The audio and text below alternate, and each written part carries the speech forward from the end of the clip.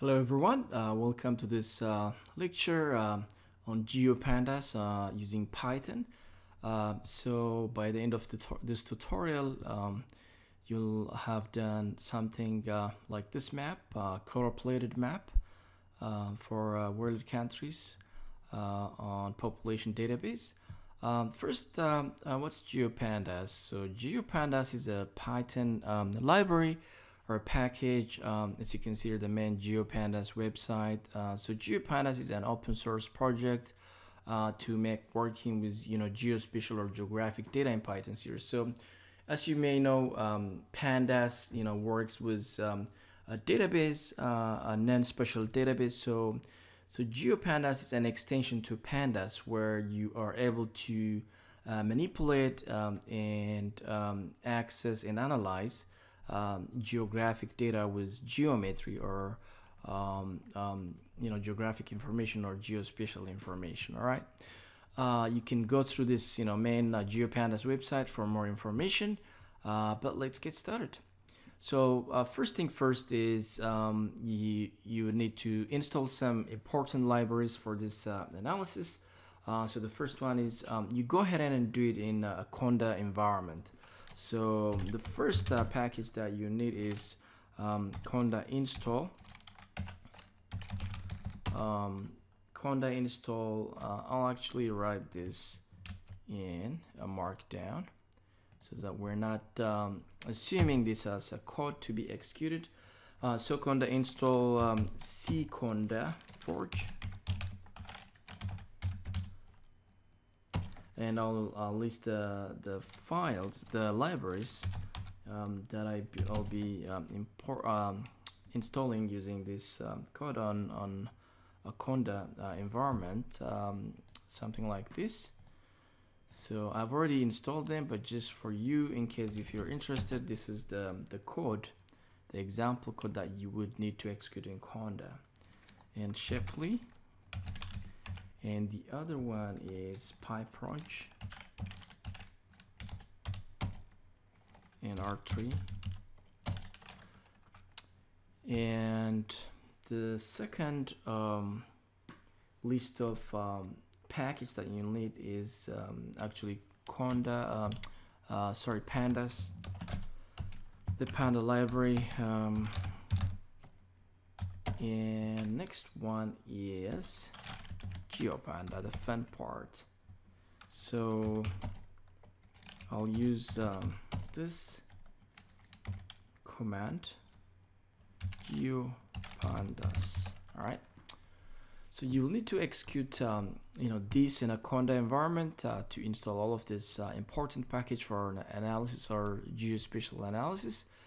Uh, once you are done uh, create a new cell and try it. Uh, I assume that you have already uh, installed this in a Conda environment and let's, let's import all of these libraries um, actually some of these libraries for this next step so I'll import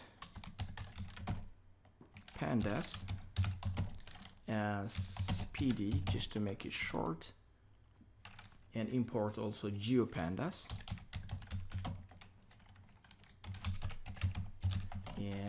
and I would need to do some visualization or plotting so I need matplotlib uh, a, a, popular um, uh, visualization um, library in Python. And this is matplotlib and I'll import it as uh, pyplot.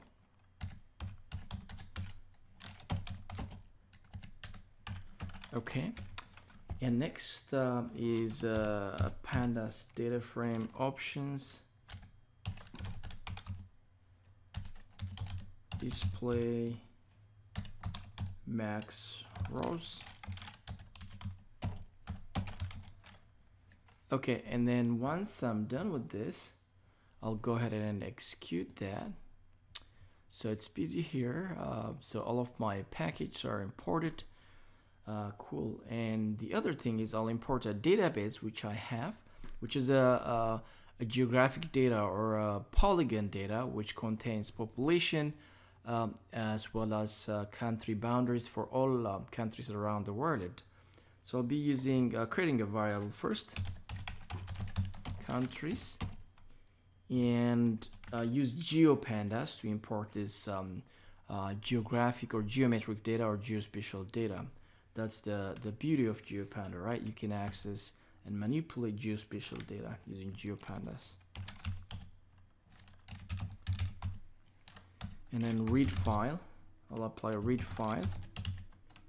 Um, and I'll actually go to my, you know, fault uh, directory here uh, to import um, my data. Uh, actually, this is the different data folder here. And I'll actually create a, a single quotation and then paste my um, layers here. Uh, it is found in datas. Okay, and I'll add data actually. Slash. Um, what is that folder here? So it'll be countries database, and actually I can write that here. All of that, and then slash that specific name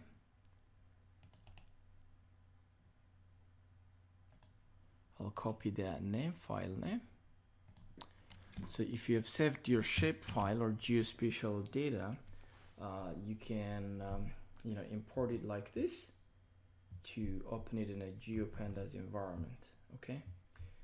And so the next thing is actually to um, you know um, and I need a shape file it has shape to access this all right so I'll execute that um, to import my uh, shape file or geometry file and um, I'll call that database uh, this variable or this uh, geometry file and execute that let's see if it um, perfect so what we are doing here is, let me just change the zoom. Okay, it's 150, it's fine. I hope you can see this. Um, so the next one is what I'm doing here is just I imported this uh, shape file or geometric file. What I'm doing here is just um, a print that to look at the database, right? So I have a database which has uh, ISO A3, which is a short name for countries. And here in the second column, you have countries uh, you know, Angola, um, you know, uh, South Africa, Zimbabwe, and what have you, and also the continent. Um, you have um, a couple of uh, parameters here. The first one is population estimate. So this is a population data. We'll be using this data to uh, plot a to generate a choroplate map. Okay, and then the second one is the GDP. Uh, so country GDP, right? If if you're interested to plot we can also um, call this, um, you know, uh, attribute uh, from the database and applied in, in our, um, you know, visualization, uh, okay? Um, so next step is, so let's just generate a simple, you know, plot, not fancy one, not uh, with a nice legend, but just a simple plot, you know, to, you know, generate a map of this, uh, you know, database. So what we can do here is, um, countries plot and this will give us um, just the data plus plot this will um, you know generate a simple you know just basic plot okay? Let's execute that. Perfect. So you can see that that's the database with countries database and which has population and GDP but what we did here is just just you know plotting the geometry um, the spatial extent of the data.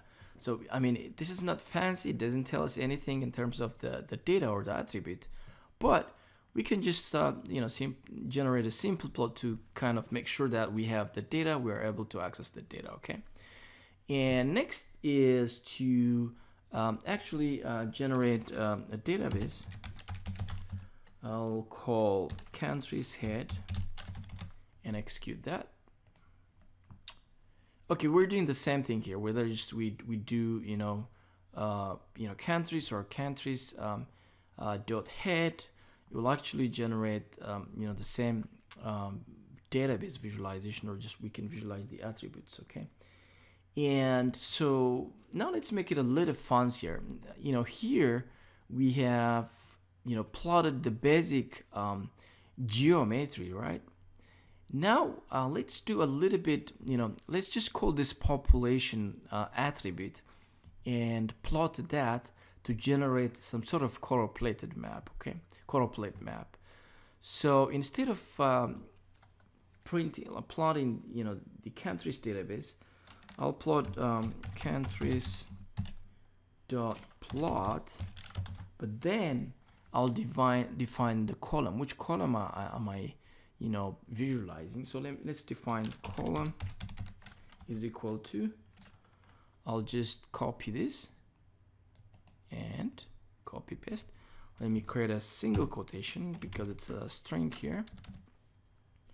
And this will generate a choroplate map showing the population estimate for all countries around the world. Let's just execute that.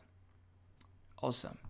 So as you can see here uh, you know a little um, I mean it's still basic but you can see some you know variation uh, on the population estimate. As you obviously you have you know the highest population estimate in India and China and next up is North America uh, and Nigeria. So eh, you know you, you, you can see uh, and in, in Russia here.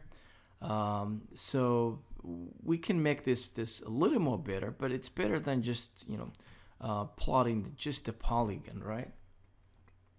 So this is a little fancier uh, we can do more you know we can do better. And then let's also look at the GDP right uh, this column okay? Let's just copy that. Actually copy this bit of code and then paste it in the next cell. Let's just create a few other cells. Instead of pop uh, estimate I'll just copy this uh, GDP right? Copy that. And then paste here so instead of population I'll plot a GDP um, by country right? So it's slightly different right? Um, so this is just a simple way you can use you know GeoPandas as well as Matplotlib um, you know to demonstrate or just uh, generate some plots using geospatial data or geometric data uh, in addition to pandas uh, data frame which can access non-spatial data right okay um, now uh, you know the fun part is to generate some sort of you know um, choroplate map which makes sense like which um, has some legend and nice you know professional looking map right? Let's get started with that. So um, we are um, we have already you know um, imported matplotlib so let's just do the other ones let's import um, the rasterio package um, actually let's try it that way without uh, importing this. So let's generate a figure x.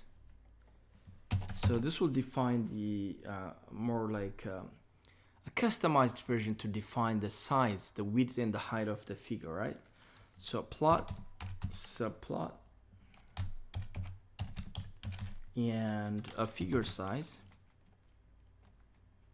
We call it figsize is equal to so we'll define the size of you know that figure that we're generating. And the other parameter is um, you know aspect. Kw um, dictionary and aspect is equal to Okay. All right. Um, and so that's just the figure, you know, layout. And the next one is actually to import, you know, the countries database, which has population as well as, you know, GDP. So let's plot that. So plot, but in this case, we define a column again. So the column is pop east, right? We'll just copy this here.